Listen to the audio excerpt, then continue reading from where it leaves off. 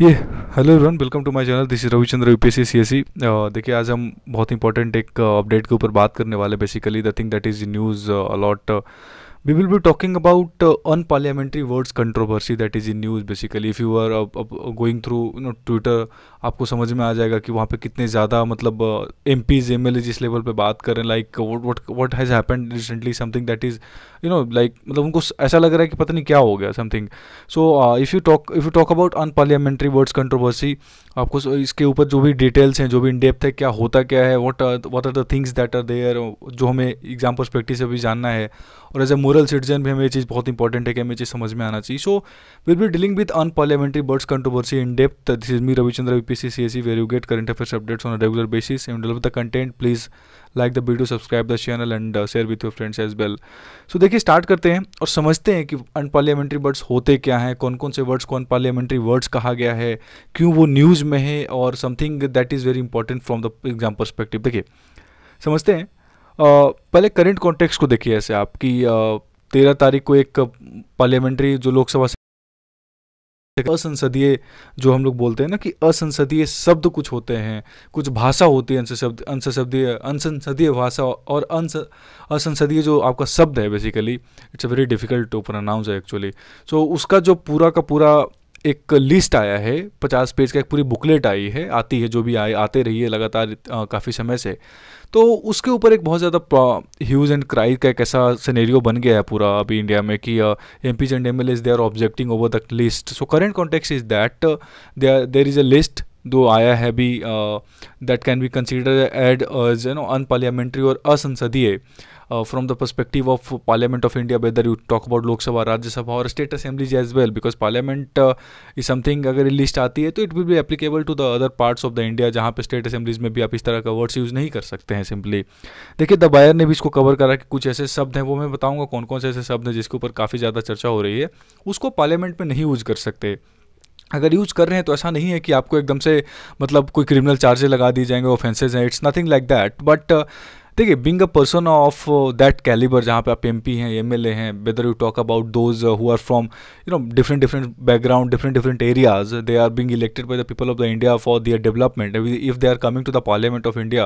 whether from Rajya Sabha Lok Sabha there is a kind of morality there is a kind of expectation from the people of India as well that you will not be using such certain defamatory language certain defamatory words against your own colleagues like whether M L A from other opposition parties और something else so ये जो expectation होता है ना, ये बहुत important होता है and that is what has you know plays played a very important role so far the constitution of India is concern तो उसी चीज़ को लेकर एक uh, कुछ वर्ड्स ऐसे हैं जिसके ऊपर पहले तो ऑब्जेक्शन किया गया कि नहीं, ऐसी इस तरीके की चीज़ें नहीं, आप नहीं, बिल्कुल भी आप एकदम से ऑल टुगेदर आप गैग ऑर्डर लेकर आए हो। मैं बताऊँगा कि इन्होंने किस तरह का स्टेटमेंट दिया है अपोजिशन पार्टी तो इसके ऊपर जो स्पीकर है हमारे लोकसभा के, ओम बिरला जी, उनका भी स्टेटमेंट आया कि something that is not banned at all like ऐसा नहीं है कि आप बोल दिए तो आपका जवान काट दिया जाएगा एंड समथिंग लाइक दैट ऐसा नहीं है like there is nothing like that there is something there are certain words that are not uh, considered as parliamentary words that are not considered as words that can be used or that um, you know that is used to by a uh, used by a very reputed person like MP और MLA और look से look अगर आप ऐसे देखो मान लो कि कोई एक ऐसा एमपी है सिंपली अगर मैं बोलूँ कि कोई मिनिस्टर है बहुत अच्छा जैसे कि और वो बहुत ही हाई कैलिबर के मिनिस्टर है ठीक है? अब मान लो अगर मैं बात करूँ मिनिस्टर ऑफ़ एक्सटर्नल अफेयर जो हमारे जयशंकर साहब हैं वो बहुत ही मतलब आईएफएस ऑफिसर रह चुके हैं और वो कुछ ऐसा वर्ड अगर यूज़ करते हैं तो it's like a reputed thing जो बहुत ही मतलब एक आई एफ़ एस ऑफिसर के ऊपर भी एक तरीके का ऐसा क्वेश्चन मार्क आ जाएगा कि इस तरह का इंसान इस तरह के वर्ड्स कैसे यूज़ कर सकता है। सो so, असंसदीय वर्ड्स कहने का मतलब हो गया कि देर आर सर्टेन वर्ड्स जिसको हम यूज़ नहीं कर सकते in parliament of India just कि ये अच्छा नहीं लगता। That is something that is not you know suits a person of that calibre तो उसको अनपार्लियामेंट्री बोला गया है। That is certain things that are not completely all together banned कि आप इंडिया में कर ही नहीं सकते, ठीक है? सो ये समझ में आ गया वो करंट कॉन्टेक्स्ट आगे। आगे देखते हैं कि कुछ वर्ड्स जैसे कि जुमला जीबी मैं आपको कुछ वर्ड्स बताता हूँ जिसके ऊपर बहुत ज़्यादा ह्यूज एंड क्राइज हैं। जैसे जुमला जीबी बाल बुद्धि, कोविड स्प्रेडर स्नूप गेट और कुछ और भी वर्ड जैसे ashamed abuse betrayed corrupt drama hypocrisy incompetent you know और शकुनी डिक्टेरियल तानाशाह, तानाशाही,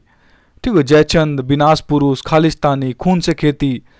काला दिन यू नो लाई लॉलीपॉप चमचा, चमचागिरी चीटेड करप्ट क्रिमिनल दादागिरी, दलाल, दंगा यू नो कुछ ऐसे वर्ड्स हैं मतलब these are the certain words जिसको अनपार्लियामेंट्री कंसिडर किया गया अब आप सोचो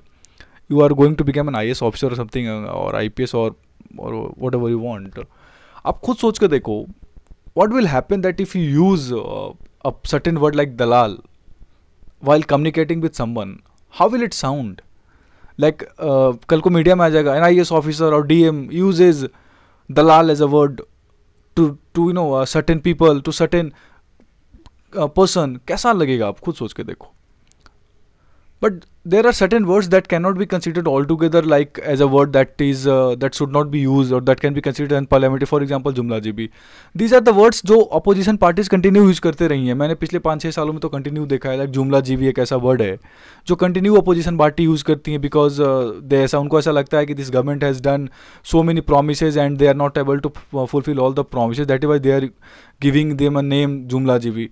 और हिपोक्रेसी अब hypocrisy something certain thing that I don't feel it's it should be considered unparliamentary because hypocrisy भी यूज़ जनरली दैट हिपोक्रेसी भी एक मतलब ऐसा वर्ड है, जहाँ पे हम बोलते हैं कि आप कहते कुछ होकर कुछ रहे हो for example political parties if they don't use hypocrisy what will they use basically like promises होते हैं पोलिटिकल पार्टी से दुनिया भर के and if they are not fulfilling all the promise definitely the position party will say hypocrisy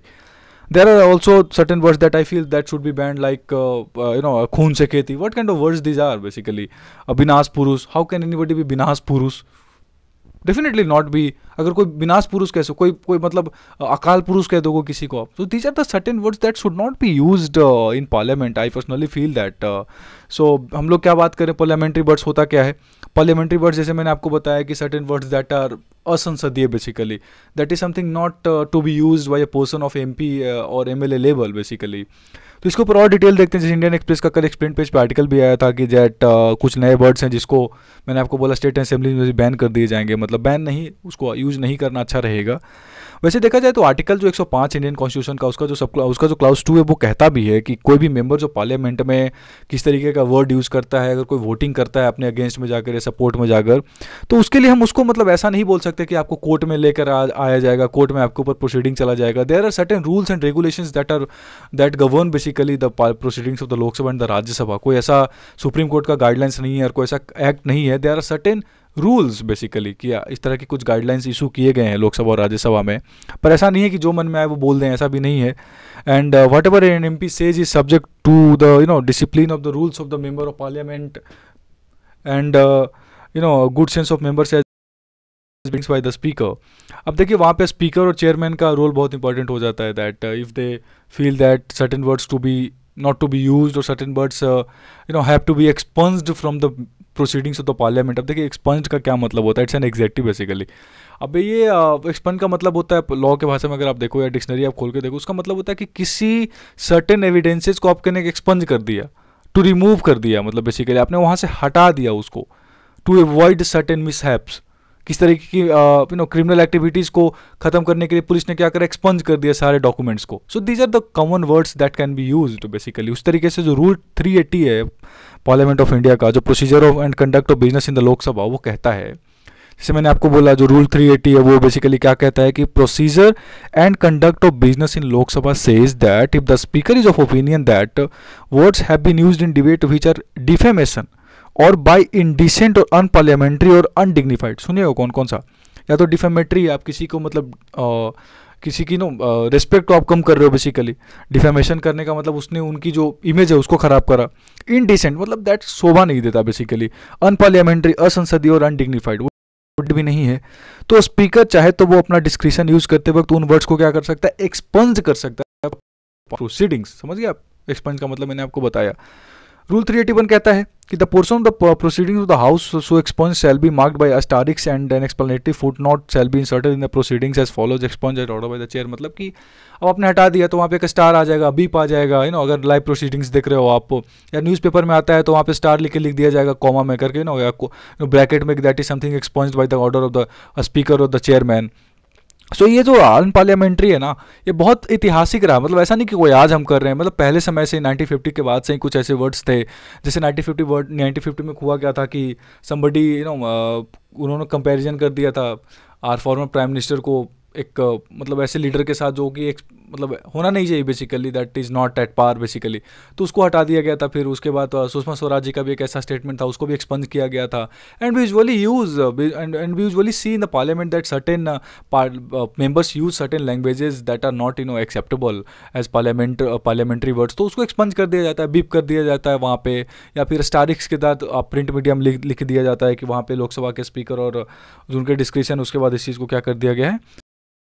ये जो पूरी चीज़ थी, ये थी। अब इसके ऊपर जैसे आप देखो, जो राहुल गांधी हमारे अपोजिशन के जो लीडर हैं, उनका कहना है कि अब एक नया डिक्शनरी में इंडिया में न्यू इंडिया में न्यू डिक्शनरी आ गई। देखो मतलब ये होता है अपोजिशन पार्टीज़ का रोल न्यू इंडिया में न्यू देखो ना sarcasm new dictionary unparliamentary एकमात्र बर्ड बचा इंडिया में अब डिक्शनरी में। अब डेरे को ब्रायन अपोजिशन के लीडर हैं उधर। यू नो राज्यसभा में उनका भी कहना है कि मोर ऑन गैग और not just M Ps media too will be gagged in you know उसके अलावा जयराम रमेश, उनका भी कहना है कि अब सर्टिन वर्ड्स को आपने गैग कर दिया all too it's like a gagging order और ये भी नहीं था, सिर्फ़ सिर्फ़ it was not like that कि आपने इतना ही ऑर्डर करा। There is also certain thing जो मानसून सेशन में अठारह जुलाई से स्टार्ट होने वाला है, बारह अगस्त तक चलने वाला है हमारा। उसमें ये भी हो गया कि आप डेमोन्स्ट्रेशन नहीं कर सकते, धरना नहीं दे सकते, आप फास्ट पे नहीं बैठ सकते, जो पार्लियामेंट की जो यू नो प्रेमिसेज है उसमें अब रिलीजियस फंक्शनरीज नहीं कर सकते आप। अब इसके ऊपर भी एम का कहना है कि आप दो दिन पहले आपने, आप सबने सुना होगा अशोक स्तंभ जो हमारा जो यू नो अभी जो सेंट्रल विस्ता प्रोजेक्ट बन रही है हमारे, जो नई पार्लियामेंट की बिल्डिंग पे प्रधानमंत्री ने उनका उद्घाटन करा था, उसका यू नो अशोक स्तंभ का तो उसके ऊपर भी बहुत ज़्यादा कंट्रोवर्सी हो गई थी कि आप रिलीजियस सेरेमनी कैसे कर सकते हो? Parliament is not a religious place it's a secular place at all आप खुद ही दो दिन के बाद अब ऐसा आप ऐसा लिस्ट लेकर आ रहे हो, ऐसी आप पूरी की पूरी गाइडलाइंस लेकर आ रहे हो कि कर ही नहीं सकते। So it's like a hypocrisy अब ऐसा अपोजिशन पार्टीज़ का कहना है। So they will definitely use a hypocrisy अब मुझे तो सब्सिट्यूट नहीं समझ में आता कि कौन सा इसका यूज़ करना चाहिए whatever what kind of things that they should use so देखिए, ये तो कंट्रोवर्सीज होते रहेंगे। एग्ज़ाम परस्पेक्टिव से जो भी रूल्स थे वो मैंने आपको बता दिया, जो वर्ड्स इंपॉर्टेंट थे वो मैंने आपको बता दिया। So this was all about the video on unparliamentary words and if you love the channel content please subscribe the channel like the video and share with your friends देखिए, आप अगर दो तीन भी वीडियो शेयर कर देते हैं एक दो लोगों के साथ भी सब्सक्रिप्शन कराते हैं तो ऐसे ही चीज़ें बढ़ती है। You know small steps are very important other having a good bigger steps तो please support your you know brother and your जो भी आप कंसिडर करते हो, मुझे please support me because your support is quite important my one video has cross four thousand views so it means lot for me that this video has got so many you know support and whatever things so please support the channel subscribe the channel share with your friends as well thank you